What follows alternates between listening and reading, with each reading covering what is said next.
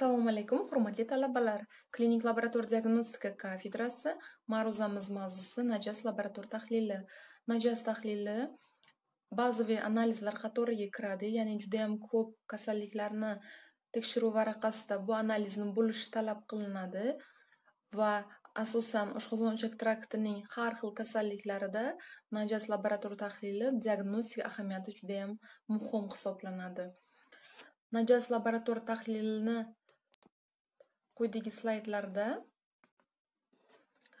biomaterial bilan ishlashdagi ayrim kamchiliklar va e'tibor berishimiz kerak bo'lgan jihatlari keltirib o'tilgan. Demak biomaterialni yuborishda ya'ni namunani yuborishda e'tibor berishimiz kerak ekan. Yo'llanmani to'g'ri to'ldirilishiga ya'ni bunda bemorning ism familiyasi yoshi hamda analizga olingan namunaning vaqti ko'rsatilishi kerak ekan va bio analizning turi aniq yozilishi kerak. Mana shunaqa noto'g'ri направлениялар ya'ni yo'llanmalar ko'pincha laboratoriyalarga keladi.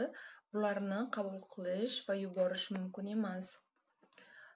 Axlat namunalari mana shunday shaffof idishlarda usti yopiq holda laboratoriyaga vaqtida kechiktirmasdan yetkazilishi kerak.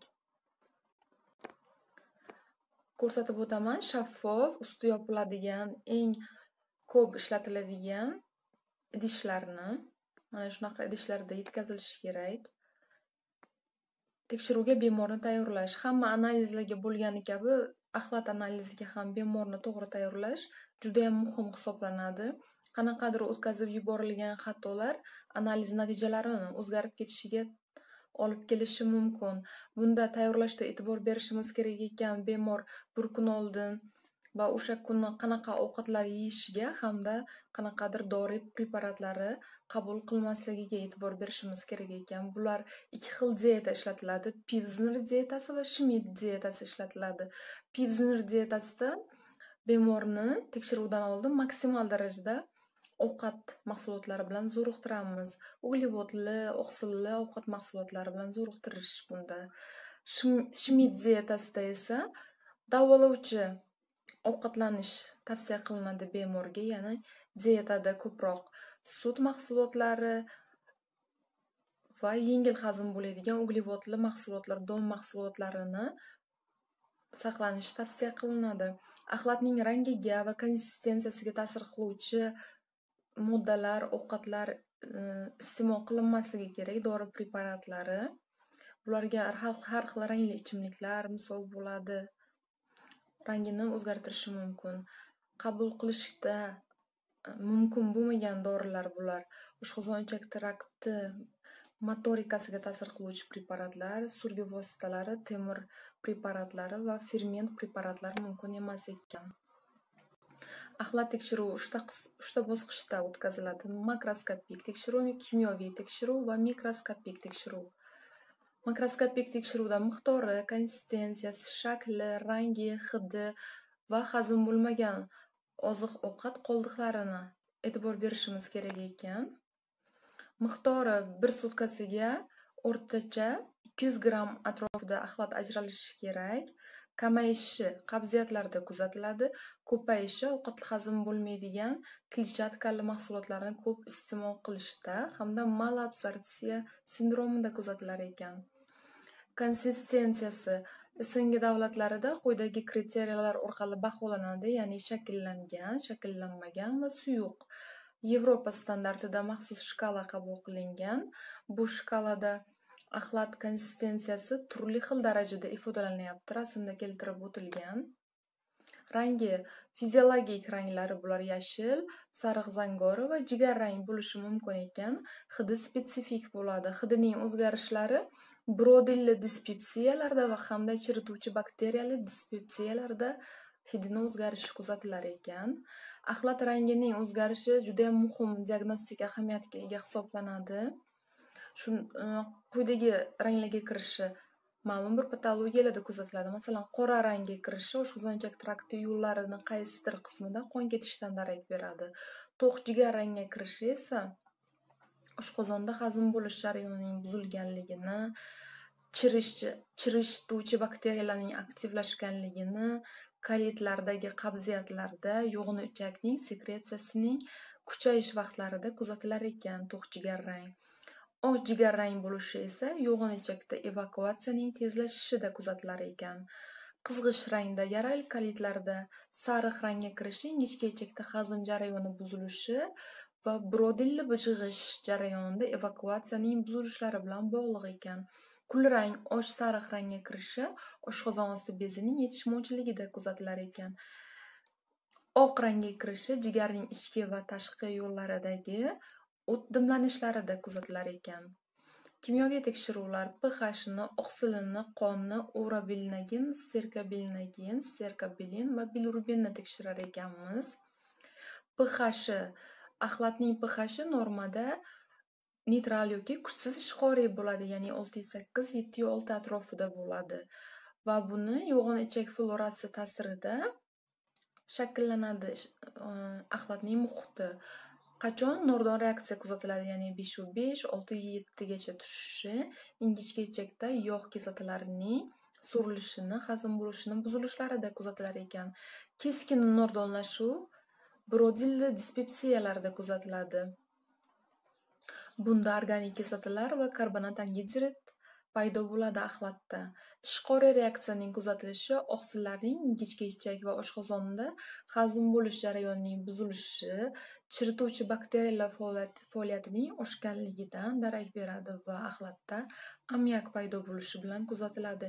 Keskin ishqori bo'lishi ya'ni sakkiz yarimdan ko'tarilib ketishi chirish dispepsiyalarida ya'ni kolitlarda kuzatilar ekan. Bilirubinga reaksiya normada katta yoshli odamda axlatda bilirubin bo'lmaydi. Kichkina yoshli bolalarda ya'ni to'qqiz oygacha bo'lgan hollarda bilirubin axlatda aniqlanishi mumkin. Ayniqsa birinchi uch oyda yog'on ichak mikroflorasi yetishmovchiligi sababli shakllanmaganligi sababli bilirubinning serkabilinga aylanish jarayoni kuzatilmaydi va axlatda bilirubin ajraladi va shu sababli ham chaqaloqlar axlatda sariq rangda bo'ladi. Asta sekinlik bilan to'qqizinchi oyga borib yo'g'in ichak florasi to'liq shakllanganidan keyin axlatda bilirubinning to'liq yo'qolishi kuzatilishi kerak ya'ni sterkobilinga aylanib axlatdan bilirubin chiqib ketishi kerak. Axlatda bilirubinning paydo bo'lishi quyidagi patologiyalarda kuzatiladi. Bular birinchidan ichakda axlatning evakuatsiyasining tezlashishi ya'ni diareyalar malabsorpsiyalarda kuzatiladi. Ikkinchidan og'ir darajadagi disbakteriozlarda ya'ni antibiotiklar noto'g'ri va ko'p vaqt davomida qo'llanilganda yo'g'in ichak florasining yo'qolib ketishida. Uchinchi sabab bu aralash sirkabilin bilan birga bilirubinning ajralishi bu e, mikrofloraning normal saqlangan qismining ham va patologik mikrofloraning ham borligidan darak berar ekan. Mm, axlatda gemoglobinning paydo bo'lishi ya'ni yashirin qon testi orqali bu aniqlanadi. Yashirin qon paydo bo'lishiga sabab gemorragik diatezlar polipozlar gemorroy hamda yaralar sabab bo'lishi mumkin ekan. Yashirin qonni aniqlashga testlar ikki xil spetsifik nospetsifik tekshiruvlar orqali amalga oshiriladi. Nospetsifik testlarga kiradi amidoperin sinomasi gavyaka smolasi bilan tekshirish va benzidin sinomasi kiradi. Spetsifik testlarga immunoxromatografik tekshiruvlar kiradi. Nospetsifik testlar nospetsifik testlarning yomon tarafi soxta manfiy soxta musbat natijalarning bo'lishi mumkinligida va reagentlarning judayam toksikligida qachon soxta musbat reaksiyalar bo'ladi? Ko'p miqdorda go'shtli va baliqli mahsulotlar iste'mol qilinganda temir preparatlari qabul qilinganda va ko'p miqdorda xlorofil hamda peroksidaza saqlovchi o'simlikli mahsulotlar iste'mol qilinganda soxta musbat natija bo'lishi mumkin. Soxta manfiy natijalar tekshirishdan oldin namunani uzoq vaqt saqlanishida vitamin c va natriy sulfat preparatlari qabul qilinganda. Reagentlarning saqlash muddati o'tganda soxta manfiy natijalar kuzatiladi. Spetsifik test spetsifik test hozirgi zamonaviy testlarga kiradi. Ya'ni afzalliklari ekspress hisoblanadi. Ya'ni tez muddatda javobi chiqadi. Ya'ni nechadir minut ichida javoblari chiqadi. Soxta musbat natijalarning soxta manfiy natijalarning bo'lmasligi testga maxsus tayyorgarlikning talab qilinmasligi va ishlash jarayonida gigiyenik talablarning bajarilishi ehtimoli kattaligi. Ko'rsatmalar kolorektal raklarning skriningida hamda pastki ichak yo'llaridan qon ketish xavfi borligini baholashda yashirin qon ketish testini aniqlashga turli davlatlar turlicha test sistemalar ishlab chiqqan. Men keltirganman econfot nomli test sistema e, amerika qo'shma shtatlari va xitoy birgalikda ishlab chiqqan bu sistemalarni o'tkazish qoidalari maxsus idishlarda axlat suyultirib olinadi. Kam miqdordagi axlat olinishi kerak. Suyultirib olingan axlat test tayoqchalarga tomiziladi va natija mm, rang o'zgarishli chiziqchalar paydo bo'lishi bilan ifodalanadi. Qo'shma testlar ya'ni bunda gemoglobinga tekshirish bilan birgalikda transferinga ham tekshirish o'tkaziladi. Axlatda sterkobelin va urabilinga bo'lgan reaksiya. Sterkobelin va urabilinagin qonda axlatda doim bo'ladigan elementlardan hisoblanadi. Ya'ni gemoglobin parchalanishining oxirgi mahsulotlari sifatida o't yo'llari orqali ichaklarga tushadi bilirubin va ichakdagi mikrofloralar ta'sirida sterkobilinogenga va urabilinagenga aylanadi. Sterkobelinagen bilirubindan hosil bo'luvchi oxirgi pigment hisoblanib axlatga rang beradi sog'lom odamda 40-280 mg atrofida axlat bilan ajraladi axlatga jigar rang rangini beradi sterkobilinning axlatda kamayishi kuzatiladi Parenxematoz gepatitlarda turli mexanik sariqliklarda hamda o'tkir pankreatitda sterkobilinning sterkobilinga aylanishi buzilganligi sababli axlat rangi oqimtir kulrang rangga kiradi. Sterkobilinogenning axlatda kamayishi disbakteriozlarda ya'ni yo'g'on florasi kamayganda bilirubinni sterkobilinogenga aylanishi buziladi. Sterkobilinning axlatda ko'payishi gemolitik sariqliklarda kuzatiladi.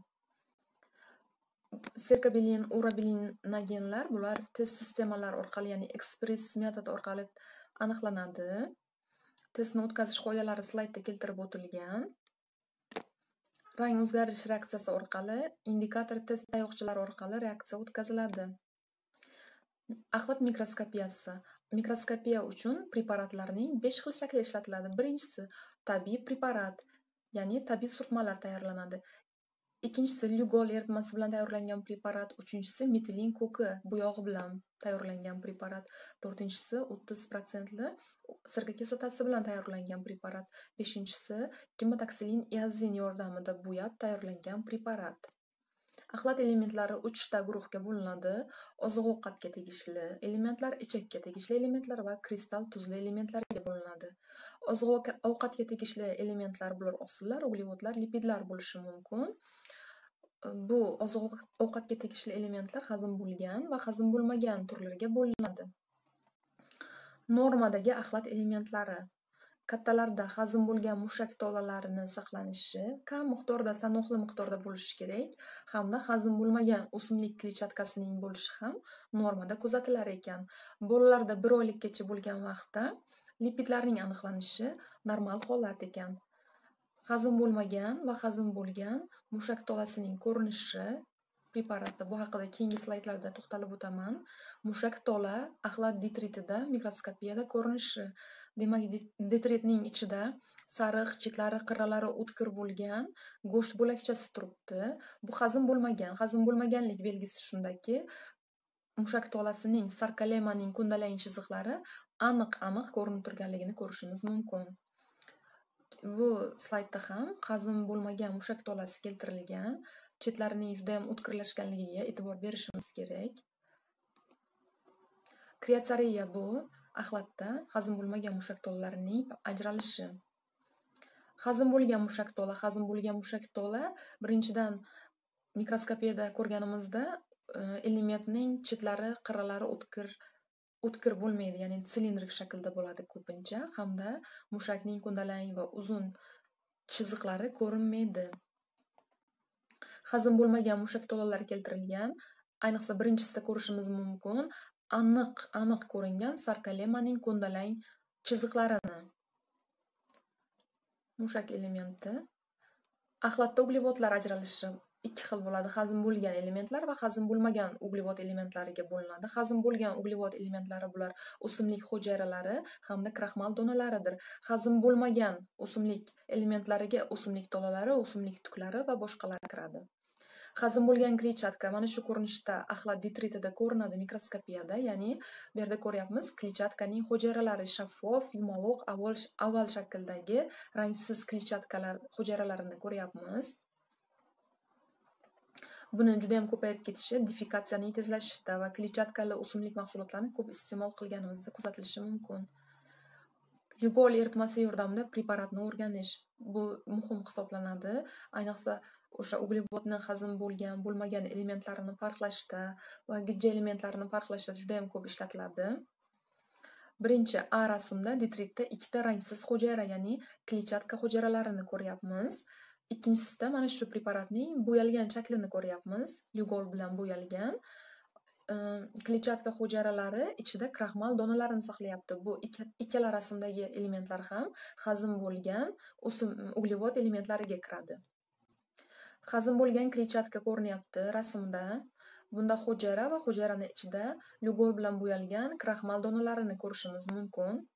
Hazm bo'lgan kletchatkani yana mikroskopda ko'rinishlari keltirilgan. Lyugolli eritma bilan bo'yalgan va bo'yalmagan shaklda?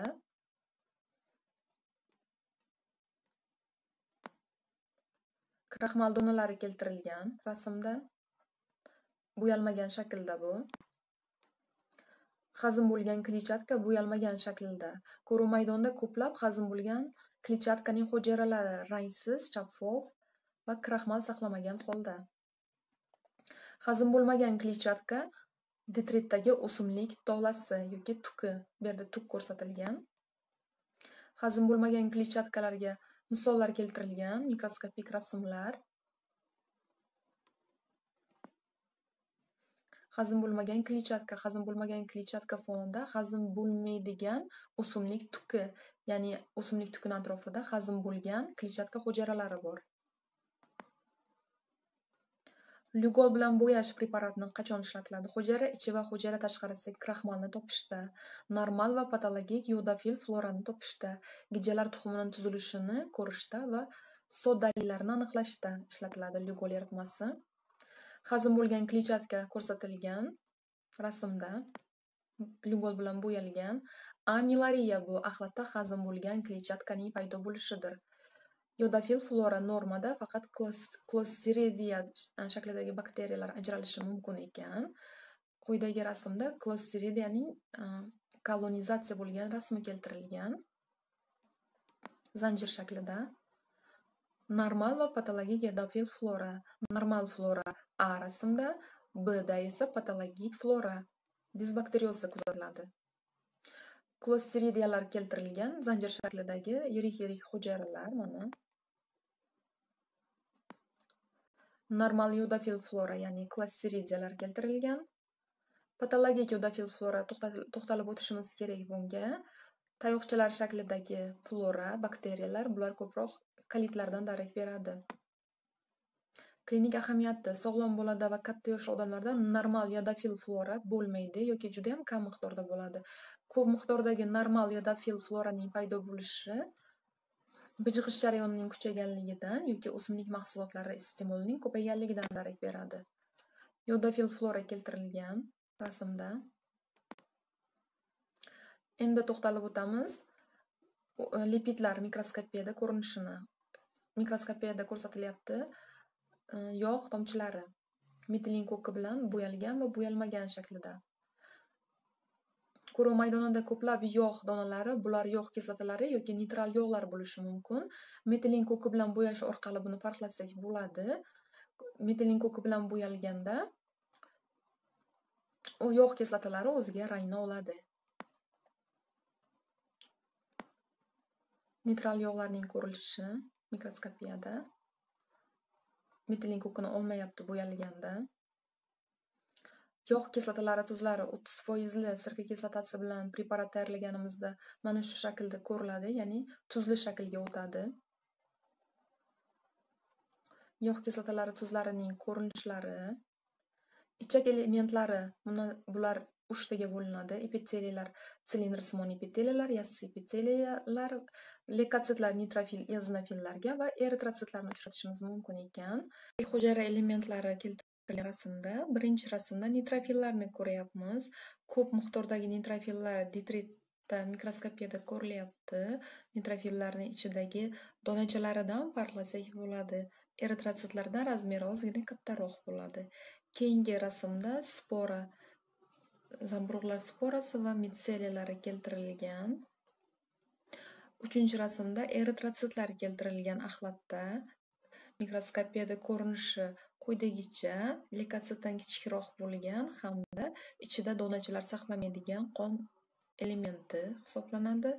To'rtinchi rasmda esa silindrik epiteliyalar ko'rsatilgan. Ko'p miqdorda silindrsimon sariq jigarrang tusdagi e, ichak epiteliyasi ko'rsatilgan. Silindrik epiteliyni mikroskopda ko'rinishlaridan rasmlar keltirilgan. Birinchi rasmda juda ham ko'p miqdordagi silindrik epiteliy bir joyda to'plangan va atrofida ko'p miqdorda shilliq ko'rinyapti. Ikkinchi rasmda sanoqli sondagi sanoqli kam miqdordagi silindrik epiteliylar atrofida juda ham ko'p miqdordagi shilliq ko'rilyapti. Silindrsimon epiteliy bu to'g'richakning distal qismidan ajralib chiqadi. Demak, silindrsimon epitelining ko'payishi bu to'g'richakning distal, umuman to'g'richakdagi patologiyalardan darak berar ekan. Ezinofillar, ezinofillar mana shunday katta-katta donalari juda ham ko'p sitoplazmasida bo'lgan hujayralar hisoblanadi. Mikroskopda ko'rinishi mana shu donadorligidan axlatdagi mikroskopda ko'rinishini farqlasak bo'ladi. ko'proq allergik reaksiyalarda hamda vj invaziyalarida ko'payib ketishi mumkin. Parazitar kasalliklarida ham ko'payib ketadi. Kristal hosilalar bular bo'linadi oksalatlar, tripil fosfat, yog' kislota kristallari, gematoidin kristallar va sharkaleidin kristallariga bo'linadi. Gematoidin kristalli ichaklardan qon ketishda kuzatilar ekan, ko'rinishi mana shunaqa to'q jigar rangli yoki to'q sariq rangli rombiklar shaklida ko'rilar ekan. Aksalatlar oshqozonda hazm jarayonining buzilganligidan darak beradi. Mana shunaqa rombik shaklidagi yaltiroq, zich bo'lgan tuz kristallari shaklida ko'riladi. Mikroskopda farqlashimiz juda ham oson bu kristallarni, chunki o'ziga xos ko'rinishga ega. Rasmda keltirilgan e, uchli yog' kislotaning tuzlari keltirilgan, kristallari keltirilgan. Juda ham ko'p miqdorda bular. Ingichka ichakdagi hazm jarayonining buzilganligidan darak beradi. Kalsiy oksalatlar keltirilgan rasmda. Tripil fosfat keltirilgan mikroskopik ko'rinishi bu tuzni kristallini ham farqlashimiz qiyin emas, chunki juda ham katta kristall bo'ladi va ko'pincha mana shunaqa to'rtburchak shaklda kuzatiladi. yaltirab turadi. Sharkaledin kristallari rasmda keltirilgan. Bu kristallar ko'proq ichak amyobiyazida, gijjalarida, allergiyalarida, parazitar kasalliklarida paydo bo'ladi. Ko'pincha ezinofillar bilan birgalikda uchraydi. Slaydda keltirilgan parazitlar, ya'ni amyobaning vegetativ shakli hamda to'qima shakli keltirilgan.